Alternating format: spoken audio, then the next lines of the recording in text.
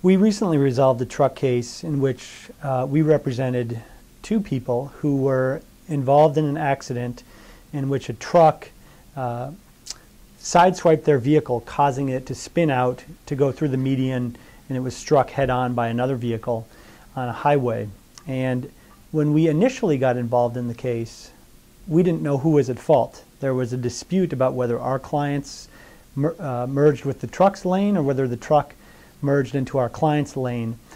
Ultimately, we were able to hire an accident reconstructionist to go out, piece together the forensic evidence at the scene, and through the use of uh, skid mark evidence, uh, tire tread evidence, tire track evidence, um, was able to determine that it was the truck, in fact, that had impacted our client's vehicle, causing it to spin out uh, through the median. After we were able to do the uh, reconstruction, we hired an animationist to do an animation of the accident and were able to demonstrate how the accident occurred and ultimately resolve the case.